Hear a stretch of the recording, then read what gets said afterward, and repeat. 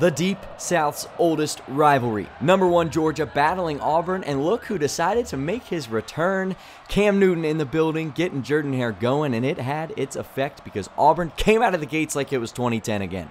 On the first drive, a 66 yard dash from quarterback Payton Thorne set up Alex McPherson for a 27 yard field goal to get the Tigers on the board first. Ensuing Dogs possession, Brock Bowers throwing across the middle gets nabbed by Jaylin Simpson, marking his fourth interception already this season.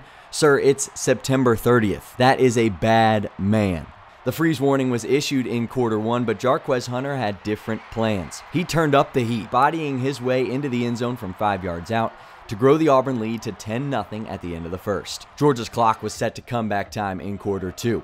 Daijun Edwards carried it in for six, and then the Dogs even the score 10 10 with a 37 yard boot just before the half. And that's when matters turned over to the hands of Georgia's tag team quarterback Carson Beck and tight end Brock Bowers. Beck found his evil twin Bowers four times for 121 yards in the final quarter alone, and Auburn just had no answer.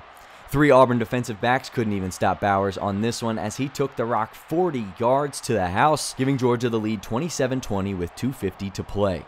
Auburn started their two minute drill hot with a catch and a first down from Rivaldo Fairweather. The hope was in the air.